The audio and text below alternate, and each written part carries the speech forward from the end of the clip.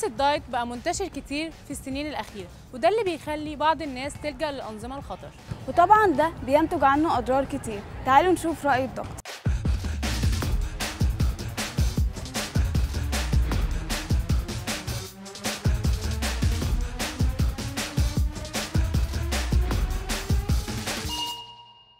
أنظمة خطر جدا الناس بتعملها خلال تنظيم الغذائي.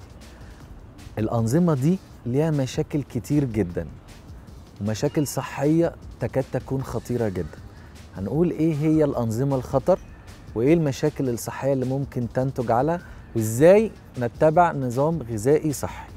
أولا إحنا علشان نكون متفقين التنظيم الغذائي هو يعني مسؤولية طبيب التغذية الم- الم- المختص بالقصة دي.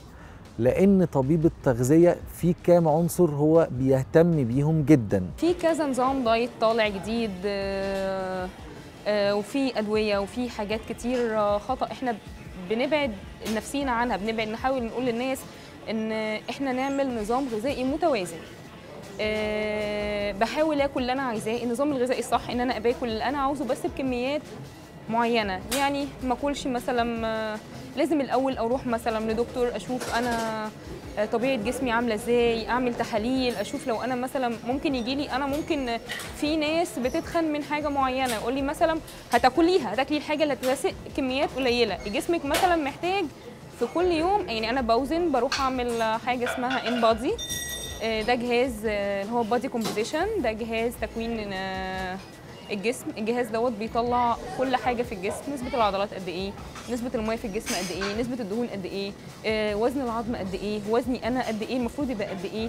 آه، لو أنا مثلا بشوف هي في معادلة صعبة بس هي بنستبسطها في حاجة كده اللي هو أنا بشوف وزني آه، لو مثلا وزني 100 كيلو بضربه في ثلاثة علشان أطلع السعرات الحرارية اللي أنا المفروض آه، أستفيد بيها. العنصر الأولاني التنويع العنصر الثاني هو ترتيب السعرات الحرارية بشكل متناقص وبشكل سليم. الحاجة الثالثة هو الحفاظ على العناصر الغذائية اللي فيها الفيتامينات وفيها الأملاح المعدنية الضرورية لصحة جسمك بشكل عام. طيب إيه اللي بيحصل خلال التنظيم الغذائي الخاطئ أو الممارسات الغذائية الشكل سليمة؟ بتيجي واحدة عايزة تخس وتنظم أكلها فبتروح تعمل شكل من أشكال الرجيم الخاطئ تجيبه من على الإنترنت أو تاخد تجربة زي تجربة جارتها تجربة واحدة صاحبتها في الشغل وتبدأ تاخد التجربة دي اللي هي مش مظبوطة عليها. طب إيه هي أشكال الرجيمات الخاطئة اللي الناس ممكن تعملها؟ هي رجيمات الموضة. وإحنا كأطباء تغذية أطلقنا عليها رجيمات الموضة لأن هي حاجة طالعة موضة بتطلع بين الناس موضة.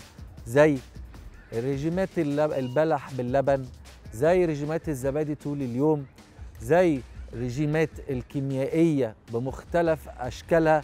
في ناس آه، آه، بتاخد الرجيم الكيميائي بشكل معين. خليني أقول لكم إيه فكرة الرجيم الكيميائي وهو عبارة عن إيه وليه سموه رجيم كيميائي.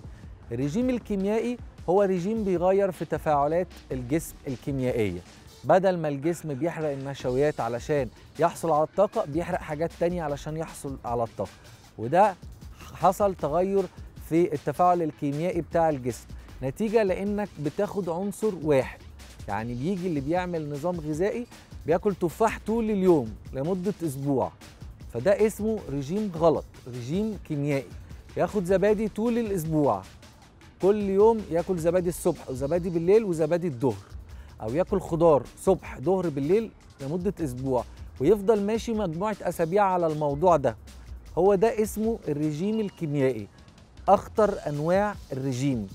الرجيم ده بيدي نزول صحيح سريع في الوزن لكن سرعان لما الوزن بيرجع يزيد أكتر من الأول. طيب الناس اللي بتعمل الرجيم الكيميائي بتعمله فترة قد إيه وممكن يعمل مشاكل شكلها عاملة إزاي. اولا الناس بتعمل الرجيم الكيميائي مجموعة أسابيع. بيعمل مشاكل صحية كبيرة جدا. ممكن تبقى المشاكل الصحية دي حصوات على المرارة حصوات في الكلى. ممكن الرجيم الكيميائي يقلل الدهون اللي بتشيل الكلى أو الكبد فيخلي الكلى أو الكبد يسقط. يعني بيخلي سقوط داخل الكلى والكبد جوه الجسم يقعوا من مكانهم. ال- الدهون دي هي مخدات بتستريح عليها الكلى والكبد. عشان كده أنا دايما بقول إن الدهون دي ليها وظيفة زي تثبيت أعضائنا الداخلية. آآ آآ طب اللي بيحصل إن ال إن ال إن السندات دي أو إن المخدات دي من كتر الرجيم الكيميائي وإن الأكل غلط يحصل وقوع. يعني لو هو عشان يخس بيقلل 3000 سعر حراري اللي بياخدهم. يعني مثلا يبدأ 2500 ما يبدأش إن هو ياخد 1000 سعر حراري في اليوم. هيخس هيخس هيخس في شهر وهيخس كمية كبيرة. بس هيبقى آه بيرجع يتخن تاني بسرعة مجرد إن هو مثلا ياكل آه، أكلة بسيطة ياكل مثلا حاجة هو نفسه فيها. هو حرم نفسه يعني من حاجات كتير. وعلشان يخس بسرعة. آه، دوت مش بيكون صح. في أنظمة كتير مثلا كيتو اللي هو نظام الدهون آه، بيعتمد على إن هو بيخلي يدخل الجسم دهون وبروتين. آه، يبقى مثلا 70% دهون 25% بروتين 5 بس في المية كربوهيدرات. النظام ده بيعتمد إن هو آه، طبعا الحاجة اللي بتحرق الجسم اللي يخلي الجسم إن هو يشتغل آه، الكربوهيدرات. هو بيقلل الكربوهيدرات علشان يحاول يحرق دهون. آه، طبعا ناس كتير بتخس عليه وناس كتير ماشية عليه وبيخسوا بيجيبوا نتائج تمام؟ بس لو حد عنده سكر أو حد عنده كوليسترول أي مشاكل في القلب مش هيقدر إن هو ياكل دهون. آه، لو هو عنده مشاكل صحية تانية مثلا في التحليلات باين عنده مش هينفع يمشي على الكيتو مش أي حد يمشي على نظام الكيتو مش أي حد يمشي مثلا على نظام معين. هو أحسن نظام آه، المفروض الناس تمشي عليه اللي هو بياكلوا وجبات يعني ما يوصلوش اللي هو يجوعوش نفسهم وياكلوا مرة واحدة وجبتين أو وجبة واحدة. يعني يقول لك طول اليوم يا عم أنا ما أكلتش إلا وجبة واحدة. أنا ما بخسش ليه؟ طب أنا ما أكلتش إلا وجبة واحدة بس و وطول اليوم قاعد. هي وجبة واحدة وما أكلتش. طب ما هو أنا جسمي كده بيحاول بقى يخزن. هو مش فاهم. المخ بيبعت إشارات إن هو يخزن كل الحاجات دي لأنه هو مش مش فاهم. هو خايف الجسم يكون مش هيدخله أكل تاني. لأنه طول اليوم قاعد جعان وبعد كده ياكل آه، كميات مهولة من الأكل. هو لو مثلا يعني الأكل نقسمه على ثلاثة أو خمس وجبات اللي هو يعني مش هنحس بالجوع قوي. يعني مثلا لو أنا أكلت كل ثلاث ساعات أو كل أربع ساعات أنا مش هحس بالجوع قوي فهاكل الحاجة اللي هي أنا هستفيد بيها مش اللي هو لحد ما أشبع. يعني مش هوصل لفكرة الجوع الكبيرة قوي عشان هاكل كمية كبيرة قوي. لا أنا ممكن الكمية دي أقسمها علشان الجسم يبدأ إن هو يحرق. أحسن نظام آه، متبع آه، نظام إن هو أنا باكل كل حاجة بس بكميات قليلة. باكل كربوهيدرات باكل آه، بروتين باكل دهون باخد ألياف باخد كل حاجة لازم آكل منها. يعني يقول لك ممكن يا عم دوق من الأكل. يعني في نظام يقول لك نظام اللقيمات. ده النظام ده كويس. بس دوق من كل حاجة موجودة على السفرة. خد من كل حاجة معلقة كده انت اكلت كل حاجة وهتشبع. آه، ده المشكلة. آه، في بقى حاجة كمان يقول لك خد أدوية. الأدوية هتخسس. هتخسس. الكيتو جيم هيخسس بس مش هيكون بطريقة صحيحة.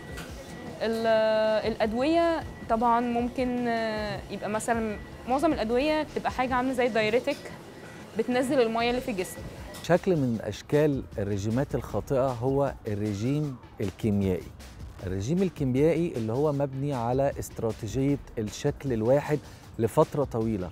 يعني أنا بعمل مجموعة أسابيع من تنظيم غذائي مبني على شكل واحد. شكل واحد زي إن أنا آكل تفاح طول اليوم أو آكل زبادي طول اليوم أو آكل خضار طول اليوم. في ناس بتاخد شوربة الكرنب طول اليوم بتشرب شوربة كرنب.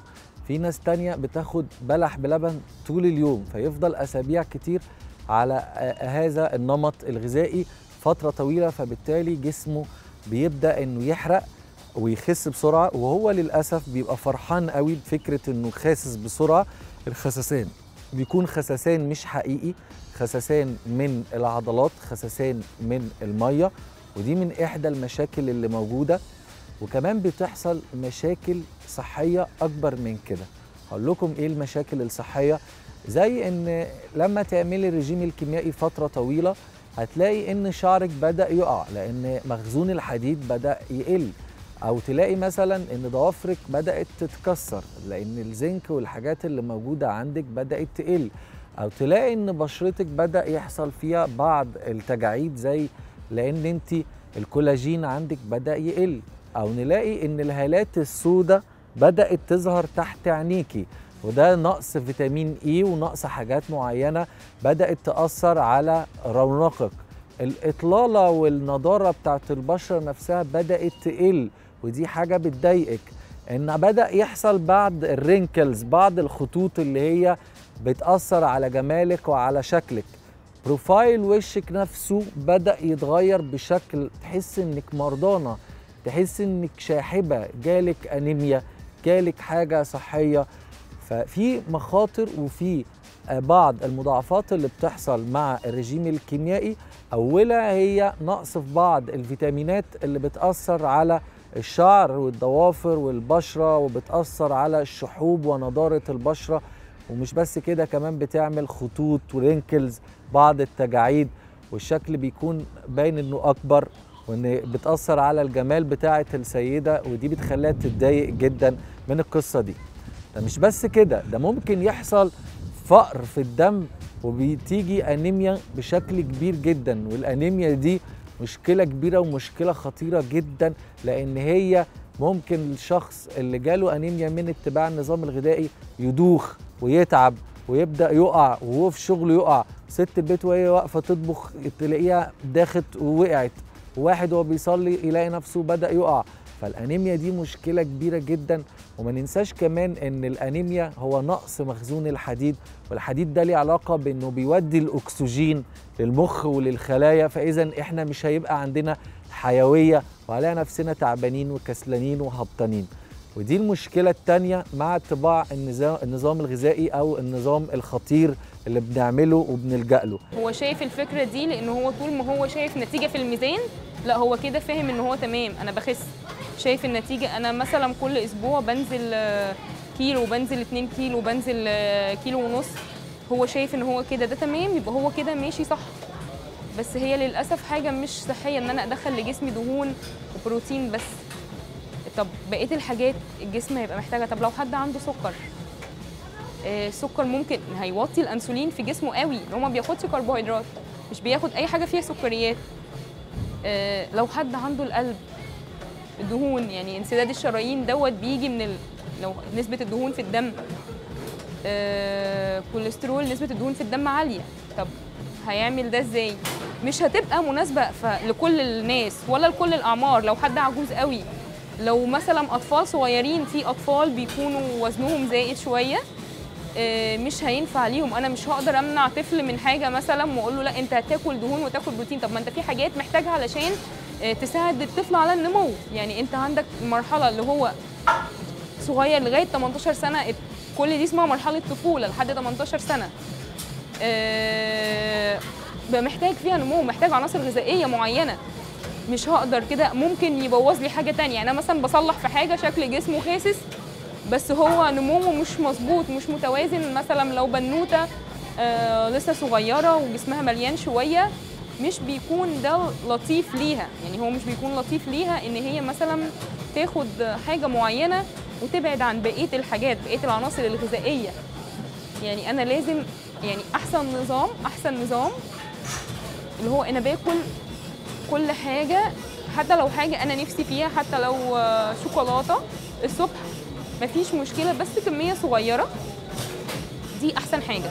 آه، باكل خضار باكل فاكهة باكل بروتين طبعا باكل دهون بس مش بكمية كبيرة. باكل بروتين بس مش بكمية كبيرة. أي حاجة لو زودت فيها ونقصت حاجة تانية ده مش مش صحيح ده مش صحيح.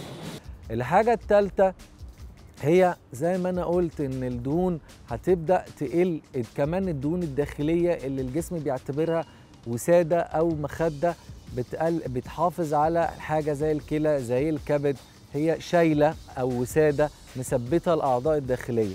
اللي بيحصل إنه للأسف مع اتباع النظام الغذائي الخاطئ زي النظام الكيميائي مجموعة من الأسابيع بيحصل إن الوسادات دي أو الدهون دي بدأت تقل وبدأت تخلي الأعضاء الداخلية تقع. وفي حالات كتير إحنا شفناها حصل لها سقوط في اعضاء في أعضاء الداخلية زي الكبد زي الكلى حصل فيهم سقوط وبالتالي دي مشكلة كبيرة قوي وبيتنقل ويخش العناية المركزة وتحصل لها مشكلة كبيرة جدا إحنا في غنى عنها. الحاجة اللي بعد كده من المشاكل المشكلة الرابعة هي ضعف العضلات اللي ممكن يحصل. وضعف العضلات دي ممكن تأثر على العمود الفقري وتأثر على بعض المفاصل. فنلاقي إن حصل انزلاق غضروفي عند شخص أو حصل ديسك عند شخص أو حد جاله مشكلة في ركبته بسبب إنه عمل دايت فترة طويلة غلط فحصل له وهن في العضلات لأنه نزل من العضلات فدي عملت مشكلة كبيرة بعد كده في فقراته أو في حاجة فللأسف وصلته لمرحلة ال- ال- العجز. الحاجة اللي بعد كده من المشاكل والمشكلة الخامسة هي آه، آه، إن ممكن يحصل حصوات في الكلى أو حصوات في المرارة أو يحصل فشل كلوي أو يحصل فشل كبدي ودي من المشاكل الكبيرة جدا اللي ممكن تحصل عندنا لأن آه، دي آه، حاجة خطيرة جدا وممكن تدخل الشخص كمان في كوما أو غيبوبة أو حاجة ما شابه ذلك. فدي من المشاكل اللي إحنا يعني لازم ناخد بالنا منها كويس قوي قوي قوي دي كانت المشاكل اللي ممكن تحصل. طب إزاي نعمل تنظيم غذائي سليم؟ التنظيم الغذائي السليم ده ما يأثرش على صحتنا ويحافظ على بشرتنا وعلى الفيتامينات والأملاح المعدنية عندنا والأمور عندنا تكون مظبوطة جدا. التنظيم الغذائي بيعتمد على بعض العناصر الغذائية اللي موجودة في التنظيم. يعني لازم ناخد نشويات لا تقل عن 60% من الوجبة الغذائية بتاعتنا. لازم البروتينات 30% من الوجبة لازم يكون كمان في دهون. الدهون دي ممكن تبقى من 5 ل 10% مش لازم الدهون تبقى دهون صريحة. ممكن الدهون دي تبقى معلقة زيت زيتون. ممكن تكون الدهون الهيدن فاتس أو الدهون المستخبية في اللحمة أو مثلا الدهون اللي في البيض أو الدهون المفيدة زي اللي موجوده في التونة أو في الأسماك. فلازم يكون في دهون في الأكل. الحاجة اللي بعد كده 10% ألياف زي الخضار والفاكهة لأن ده كمان اللي بيحتوي على نسبة الفيتامينات المهمة زي فيتامين أ وفيتامين ب وفيتامين سي المهم كمان للمناعة ومهم للخلايا وتجدد الخلايا عندنا وفيتامين د اللي بيحافظ على قوة العظم. فلازم يكون الغذاء بتاعنا غذاء صحي ومتزن ومفيد. ويكون كمان الغذاء فيه تنوع من المصادر الغذائية اللي إحنا بناخدها ومش بس الأكل لكن كمان لازم يكون في كمية مية جنب الأكل عشان يحصل امتصاص للأكل. كمان مواعيد الأكل دي نفسها تكون مواعيد مظبوطة علشان نحافظ على كميات الأكل بتاعتنا السليمة وعلى التنظيم الصح. مش بس كده ممارسة الرياضة كمان جنب الأكل اللي إحنا بنعمله. لكن إحنا في النهاية ضد التنظيمات الغذائية الخاطئة اللي هي بتجيب مشاكل صحية واللي هي بتعمل أضرار صحية ومخاطر على الجسم. وده كتير قوي من الناس مش فاهماه لأن هم بيبقوا جاست إن هم بيعملوا التنظيم الغذائي. فيفضل لكل واحد بيشوفنا النهارده من السادة المشاهدين لما تيجي تنظم أكلك وعايز تخس يا ريت تروح لحد متخصص. الحد ده ينظم لك أكلك بصورة سليمة. ما تفرحش بإنك تعمل تنظيم غذائي سريع. ينزلك في الوزن بشكل سريع أو تعمل رجيم من رجيمات الموضة اللي هو يبدأ يديك نتيجة والنتيجة دي للأسف بتبقى كلها نتيجة سلبية بتدمر صحتنا وبتجيب لنا أمراض ومشاكل صحية كبيرة جدا وبتعمل مخاطر كبيرة جدا على صحتنا وإحنا ما بنبقاش فاهمين ده. فلكن خلينا نعمل النظام الصح عشان ما نهدرش وقتنا وناخد كل ال ال ال ال العناصر المهمة الغذائية وكل الفيتامينات اللي جسمنا محتاجها وناخد ده بشكل صح بتوزيعات صح. بسعرات حرارية سليمة ب ب بوقت سليم. كل ده مع طبيب مختص عشان نوفر الوقت اللي إحنا ممكن يعني نضيعه في ان إحنا أسابيع كتير وما نخسش. وده كان الرجيم الخطر لأن في تنظيمات غذائية خطيرة إحنا بنتبعها. عشان كده بنقول لكم بلاش رجيمات الموضة واعملوا تنظيمات غذائية سليمة. إحنا ننصح الناس نقول لهم يعني لازم يتبعوا نظام صحي متوازن. يعملوا تحاليل ويشوفوا يروحوا لدكتور ويشوفوا يعملوا آه، يطلعوا على جهاز البادي كومبوزيشن اللي هو بيقيس كل حاجة في الجسم. إيه إيه المعدلات في الجسم؟ آه، أشوف أنا صحتي تقدر الدايت دوت ينفع أعمله ولا لأ؟ أنا عمري يسمح إن أنا آكل دهون وآكل آه، بروتين ولا لأ؟ هتخس في فترة قليلة بس مجرد لما عملت مثلا أسبوع free أو 3 4 أيام free هتخن مثلا ممكن كل يوم لو ممكن ادخل من كيلو لكيلو ونص 2 كيلو. مش هبقى سعيدة. هلاقي نفسي تخنت مرة واحدة من أسبوع. طب أنا عامل دايت بقالي خمس شهور وخاسس مثلا 30 كيلو ولا 40 كيلو أو 50 كيلو في في الفترة القليلة دي. هاجي مثلا أتخن تاني أنا هكون هأحبط. دي حاجة مش مش يعني مش صحيه آه، مش صحيه لكل الناس. خلينا نبقى متفقين إن الحاجة اللي هي صح كل الناس إن أنا آكل كل حاجة بالكميات اللي جسمي يستفيد بيها. بس اللي هو جسمي آه، يبقى محتاجها. ما زودش عن احتياج اللي أنا عاوزه لجسمي ولا أقلل من احتياج جسمي. يعني أنا أشوف أنا محتاجة إيه آه، وآكل بالظبط على قد احتياجي. أنا زي ما قلت لحضرتك لو مثلا حد 100 كيلو بنضرب وزنه في 3 سوري في 30 آه، يطلع لي 3000 سعر حراري. آه، 3000 سعر حراري ده آه، لو أنا أخدت أقله بس من 500 سعر حراري أنا هخس. أقل من سعر حراري واحد هخس. إن شاء الله ربع كيلو في الأسبوع. هخس بالراحة. لما أخس بالراحة ده هيبقى صحيا أنا كويسة. قادره أعمل حاجة هفضل هخليه lifestyle أقلل لو أنا مثلا حد بياكل طبق رز مليان. لو كل طبق الرز أقل من 3 معالق هيخس.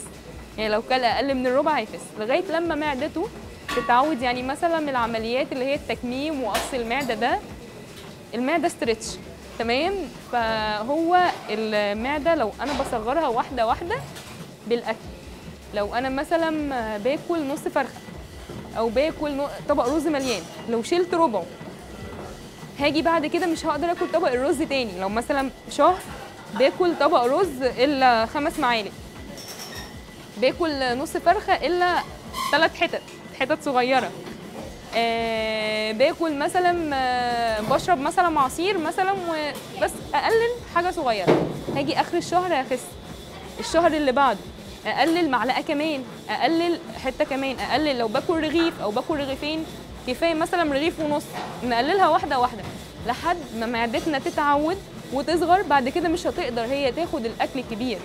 هي معدتي بعد كده مش هتقدر تاخد الأكل الكبير.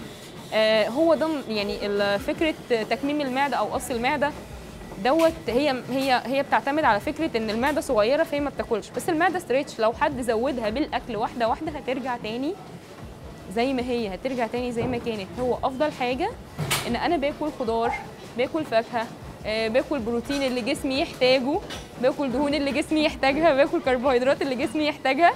ما ما امسكش في حاجة واحدة بس واقول عشان أخس بسرعة. آه، ما نستعجلش على الخسسان ما نستعجلش عن شكل الميزان. يبقى إيه؟ مش مهم المهم أنا شكل جسمي يبقى في المراية شكل جسمي في في اللبس يبقى عامل إزاي. الحقن آه، علشان يخسوا بسرعة.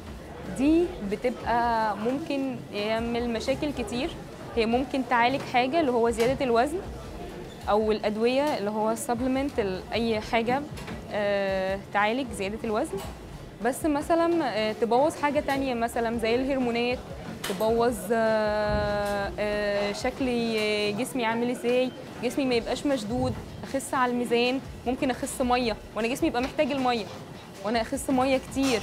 ممكن ممكن ما اخسش آه، يعني الدهون اللي أنا اخسها. ممكن اخس من مناطق مش مستحب ان أنا اخس منها واتخن من مناطق تانية بس يبقى شكلي على الميزان خاسس. هنا بقى الرياضة بتعمل آه، الشيب شكل الجسم يكون كويس. بتعمل شكل الجسم بيكون آه، شكله متناسق شكله سليم بيبقى الدهون متوزعة على الجسم كله. ما يبقاش في حتت أزيد من حتت ولا حتت. أنا هنا بتبع نظام غذائي سليم اللي جسمي يحتاجه برضو مع الرياضة. الرياضة آه، بتغير شكل الجسم تماما. الرياضة بتغير شكل الجسم. الناس اللي بتلعب رياضة مش هنقول الرياضة بتخسس ولا بتتخن لا هي بتغير شكل الجسم. هي عندنا الفرق بين الدهون والعضلات ومفيش حاجة اسمها الدهون بتتحول لعضلات ولا عضلات بتتحول لدهون. كل الفكرة إن كيلو الدهون بيبقى عامل زي كيلو القطن منفوش كده وكتير. كيلو العضل عامل زي كيلو الحديد يعني الدمبل بيبقى كيلو كده بيبقى كيلو بس كده شكله صغير بس ده ده العضل اللي هو الحديد والدهون هي اللي بتبقى كده. ممكن أنا ما على الميزان بس ممكن لما أعمل body composition إيه ألاقي إن أنا الدهون قلت والماسلز بقت كويسة فشكل جسمي بقي أحسن. في اللبس أنا بلبس مقاس أصغر.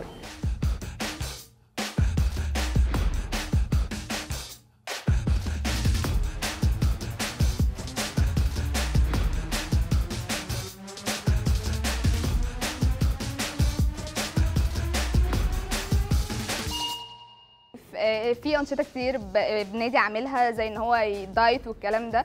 آه، عندنا هنا مدربين كمان حتى بيساعدونا في نظام الدايت أو حتى المناطق اللي أنتوا عايزين تخسوها. مثلا لو عايز تخس من ال abs من الرجل من أي حاجة بيقول لك إيه الأجهزة المعينة اللي انت المفروض تركب عليها وتشغلك أكتر وإيه البرنامج اللي, تقدر إن انت تستفيد بيه يخسسك المنطقة اللي انت عايزها في أي وقت. وفي ناس معانا هنا خست كتير في وقت قليل.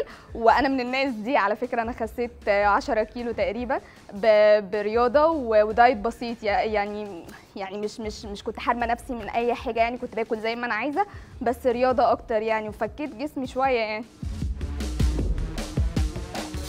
والدايت ممتاز لما بيكون في حاجة محتاجاها المدربة بتقولي عليها بمشي عليها ممتازة. والنادي هنا يعني بصراحة ما فيش بقى, بقى يعني كل حاجة بنحتاجها بنلاقيها.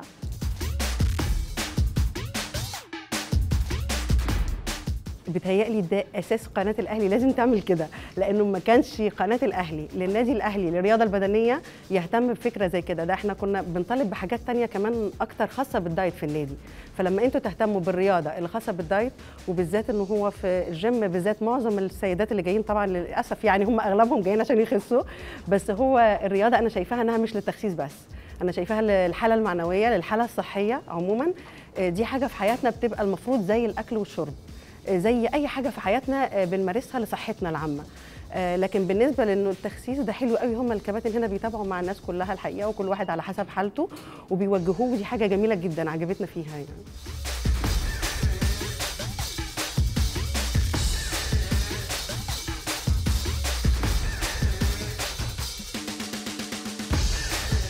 أنا قبل الدايت ما كنتش ما كنتش باصه للموضوع ده نهائي.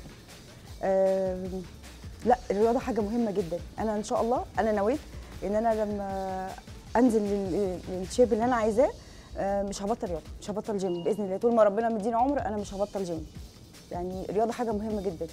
دي ما كانتش في بالي قبل كده وأكيد مش في بال حد كتير. بس إن البرنامج يوجه حاجة زي كده دي حاجة يعني لا طبعا nice جدا يعني حاجة كويسة جدا. لأي بني آدم طفل بنت راجل عجوز هتلاقي حتى كنا في الكلاس اللي مع دنيا كانت في ناس كبيرة في السن. فالرياضة مهمة جدا لأي عمر. دي حاجة كانت بعيدة عن عيني خالص لكن هي فعلا حاجة مهمة جدا. كويس جدا البرنامج بيحفز لحاجة زي كده طبعا. حلو قوي إن قناة الأهلي تعمل حاجة زي كده. دلوقتي عرفنا إن النظام الغذائي الصحي لازم يكون أسلوب حياتنا. نشوفكم في حلقة جديدة من الأهلي دايت.